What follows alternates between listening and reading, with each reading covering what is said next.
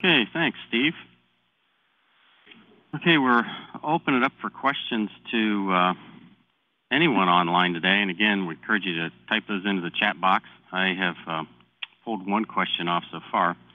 First thing I'd like you to do at this point as we're gathering those questions is to answer the polls that are here. Uh, you'll see four questions there on the screen. Uh, which group your comments best represent? Where do you work? How many people are viewing at your site? And do you participate in a program that requires continuing education?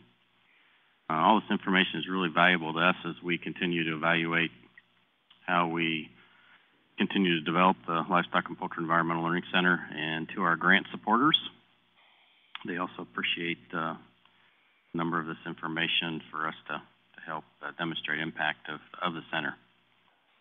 Uh, the one question that we have so far actually came in quite early. Uh, was from Levi Smith. And it said, how do you get landowner or producers to adopt some of these techniques for better riparian management? I guess we could open that up to any of the speakers. Um, maybe to get it going, we'd start with Jim. Would you like to tackle that one? Again, uh, question is, how do you get landowner producers to adopt some of these techniques? Sure, Joe. It would seem to me that, and, and I and I think uh, again, we definitely want Tom to uh, discuss this because uh, he would be, but it seemed to me probably uh, twofold. One is certainly uh, any type of incentive that one can have through the EQIP program or any other program through USDA should be helpful in that. And that's probably the primary incentive. Again, that uh, the the but the other the other point too is I think uh, to some extent uh, that uh, is is helpful to just rely on uh, the producers.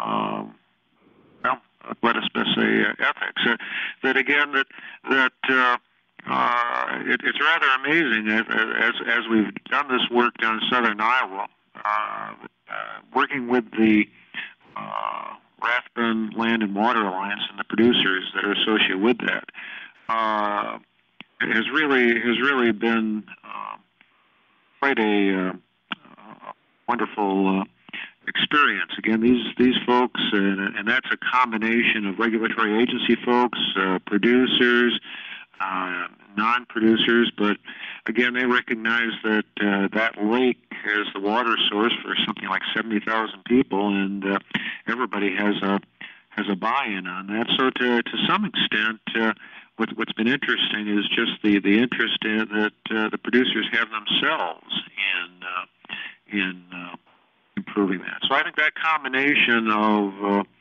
of of, um, of, of again, uh, financial incentives, uh, uh, but then also just a, a, person's individual values. Tom, you want to say something about this? Uh, sure, Jim. You know, we have um, through our work in uh, our Bear Creek watershed in north central Iowa and others, we've worked uh, extensively with private landowners, and and you know, I echo that fact first about in, incentives. Um, we have to recognize that any change in land use um, for these landowners, there's going to be opportunity costs associated with it, where they're trying to make a living on slim margins. Um, and so that uh, if there's goods, if the goods are going to be received offsite, um, we probably need to offset those opportunity costs um, through incentives. And then um, we've seen um, that as, as, it relates to that, we've seen establishment of these uh, sort of riparian practices and riparian buffers increase during um, some periods of low uh, return from cropland or pasture land and, and, increase as land values and rents have increased. Um, but then then uh, we found that it's a, it's a very retail sale. Is that um, we need to work with private landowners and first ask them what their objectives are, and then only start to tailor the practices or the management to meet those those specific objectives. Because um, I found that it, while it might be those incentives that put them on the land, it's meeting those objectives and the other values that they see accrue over time that are going to keep those practices on the landscape.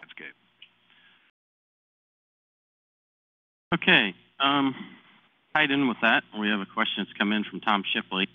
And the question is, how do we get absentee owners to participate in the expenses? with little if any return to them other than to raise uh, uh, their lease rates?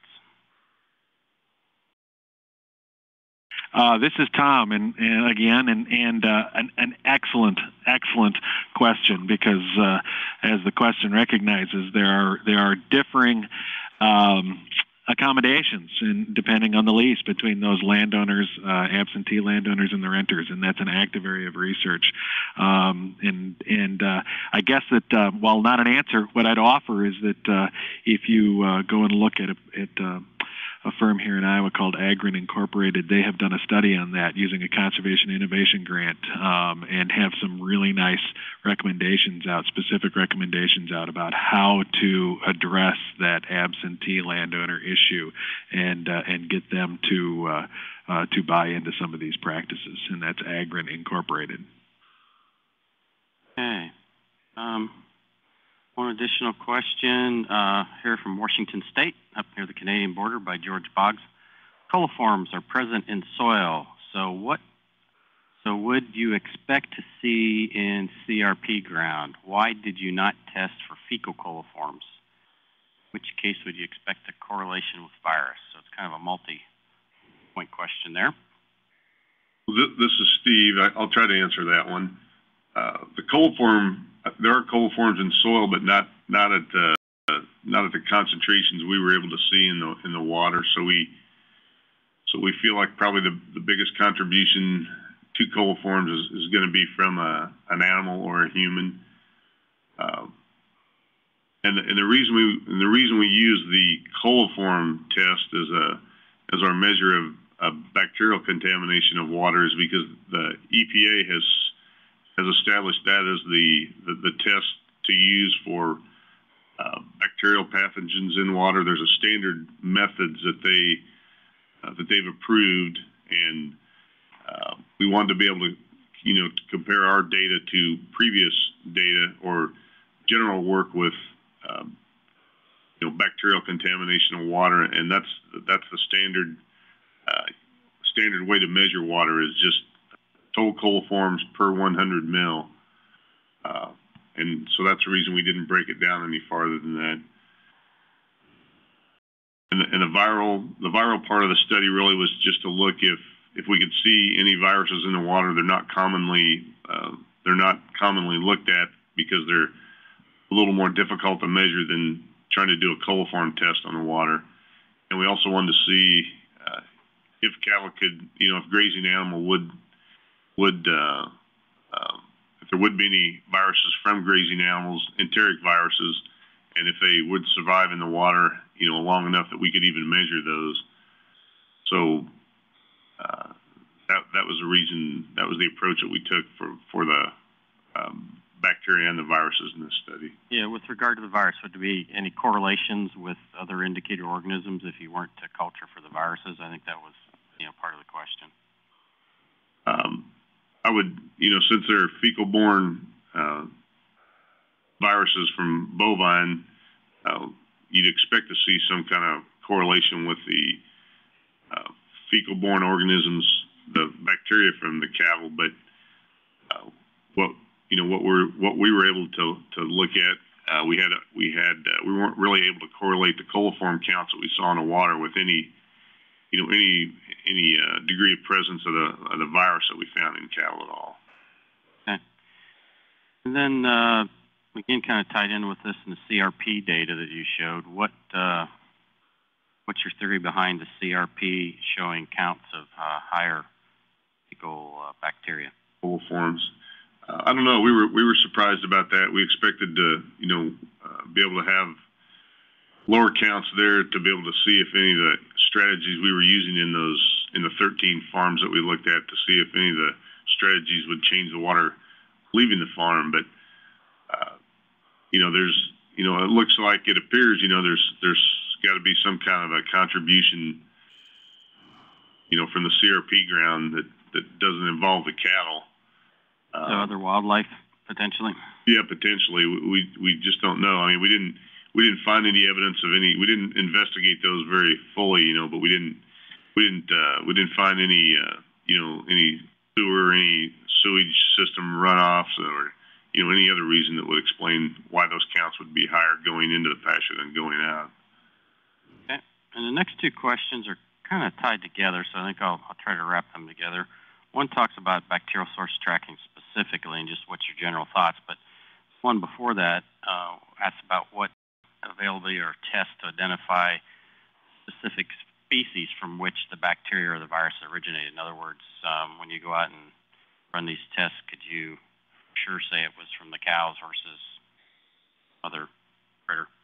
No, that, that's our biggest limitation right now. We need to try to do a better job to be able to to be able to answer that question because uh, the tests we have now are just uh, too generalized. You know, we can we can measure the contamination, but we have no no easy way, you know, no uh, easy way anyhow up to this point to identify where where it actually came from. Okay, so your general thoughts on bacterial source tracking? Uh, good approach, uh, skeptical approach. What's your I, I think that'd be great. I'm I'm waiting for somebody to show me how to do it, and we'll we'll sure try it. Okay. Um, this is going to go back to, uh, to Tom, I believe. Uh, there was a question about pasture bank erosion study. Were there uh, significant differences in the soils in those areas that you studied? Yes and no. And um, we tried to, um, uh, in, the, in the detailed analysis of the data, we tried to do a, um, a, stratified random subsampling of the soils by those uh, different soil series or soil mapping units. Um, and uh, see if that is a, a significant variable. Um, many times we do not see. Most times, actually, we do not see be, see many differences, um, or that being an important variable. And that's probably because of this, and that all of these soils, while they might be uh, their sources might be a little bit different. Most of it's post-settlement diluvium uh, in these riparian zones. Um, so it's uh, the artifact of uh, historic erosion settling in these riparian zones, and, and uh, uh, that is part of the issue because these these soils are don't have much structure and are pretty weakly coherent, and so they're um, pretty open for erosion. Okay. And we'll move back to another question on source tracking come in from Doug Boss. I thought there had been some work on DNA source tracking. There is some work. I mean, I think that's a direction everybody wants to try to go.